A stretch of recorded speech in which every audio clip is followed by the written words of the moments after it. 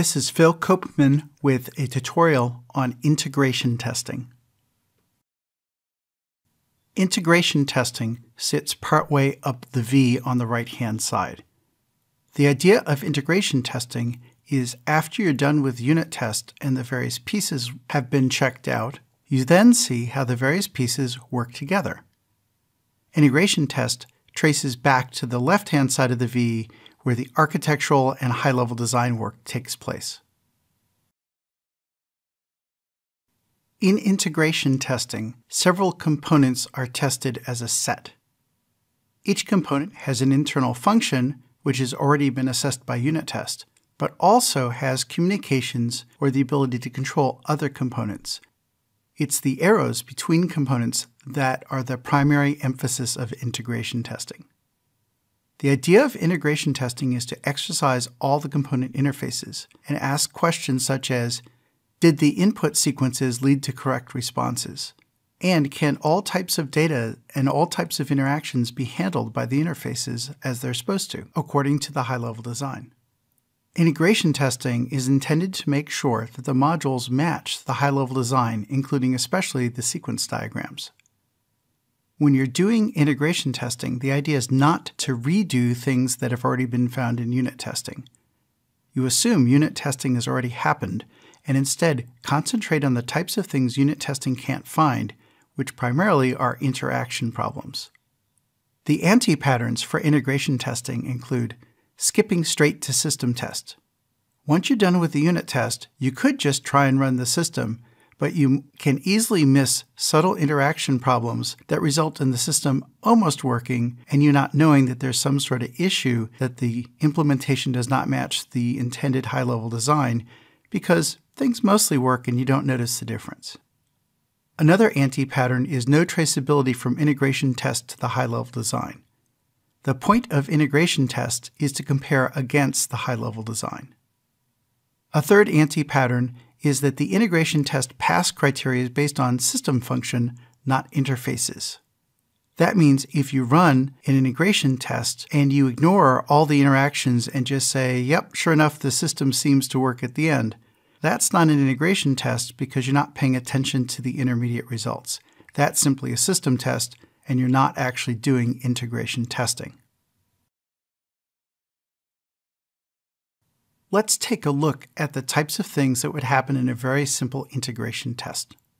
The sequence diagram on the right shows what happens when a coin is put into a vending machine. An integration test tracing to this sequence diagram would, in step 1, initialize all the modules. In step 2, it would make sure, as part of or just after the initialization, each precondition is satisfied so that the sequence diagram can be activated. In step 3, the initial action that triggers the cascade of events in the sequence diagram is fed to the system. In this case, a coin is inserted. After that, the integration test consists of monitoring to make sure that the cascade of actions in the sequence diagram actually takes place. The coin in signal is received in 4 and 5. There's a side effect that happens. There may not be a way to observe it, but in number 6, the result of that side effect is observable. In the end, the point of the integration test is to exercise a specific sequence diagram. You check that all inputs result in correct outputs. Every component interface is exercised across the whole set of sequence diagrams with all the relevant values, with all the relevant timing and sequencing. If any of the sequence diagrams do not behave as expected, that means the software does not correctly implement the high-level design and you have some sort of integration testing failure. The pass-fail criteria is whether or not the system behaves as the sequence diagrams say the system should behave. For integration testing coverage, the questions you tend to ask are, are all arcs on all sequence diagrams exercised? Are off-nominal behaviors tested? What happens if one of the inputs to a sequence diagram is missing? What happens if one of the preconditions is false? Does the sequence diagram incorrectly trigger? Do you have invalid sequencing? Do you have extraneous outputs? And so on. It's important to realize that the point of an integration test based on a sequence diagram is not simply the end result. In this example, there's a sequence diagram that shows a vending machine that takes two coins for a purchase, receiving a third coin and refunding it automatically, going back to two coins inside the machine ready for a purchase. The integration test for this sets up the machine, makes sure that the machine thinks it already has two coins, and then pops in another coin. That initiates the test. The remainder of the test is observing the coin in signal arrives, the coin count increases and it thinks it has a third coin, then it refunds the coin by exercising the coin out actuator, and the coin count goes back to 2. Simply looking that the final coin out is 2 is not how you determine pass-fail for this integration test. This integration test only succeeds if it notices it has an extra coin and it refunds the extra coin instead of just silently eating it, and then goes back to the right number of coins. Only observing the final test output would not tell you whether it actually refunded the coin, which is the whole point of this sequence diagram and this integration test. What this example illustrates is that integration test is not simply a pass on the final output, but rather, did all the arcs appear in the expected sequence? Did all the timings happen as you expected? Did all the side effects happen as you expected? In other words, it is not simply that the pieces manage to work together more or less. It's that they manage to work together exactly as they're supposed to according to the high-level design. In addition to sequence diagrams, it is common for high-level designs to also have some sort of interface description. Many interfaces look like messages one way or another. Here's an example of the OBD2 parameter ID message dictionary, which makes automotive operational parameters available via diagnostic port.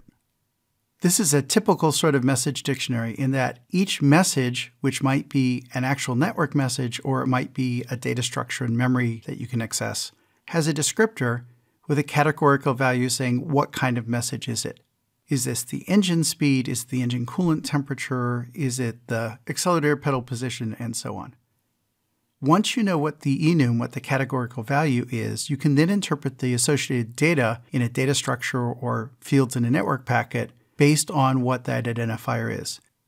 As an example, if the enum says it's an engine speed, then there might be an integer afterwards that is in tens of RPMs or what have you.